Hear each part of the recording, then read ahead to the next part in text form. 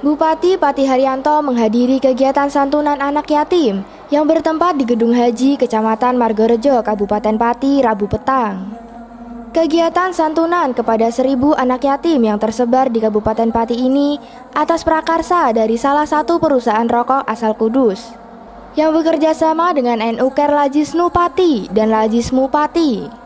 Dalam kesempatan itu, Haryanto juga turut mendoakan agar santunan semacam ini bisa berlangsung secara terus-menerus setiap tahunnya.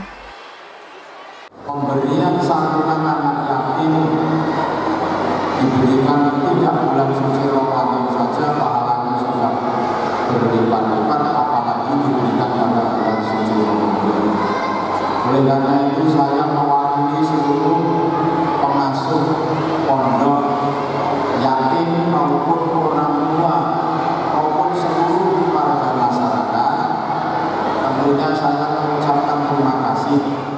Bupati Haryanto juga memberikan motivasinya kepada anak yatim piatu yang hadir dalam pembagian santunan itu.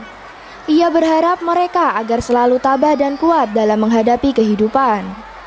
Bupati juga berpesan agar mereka mensyukuri pemberian ini. Terlebih mendekati Hari Raya Idul Fitri, Tentunya banyak masyarakat yang akan peduli dan memberikan bantuan kepada mereka. Pihaknya berharap apa yang dilakukan oleh pihak swasta ini mampu menjadi contoh bagi perusahaan lain.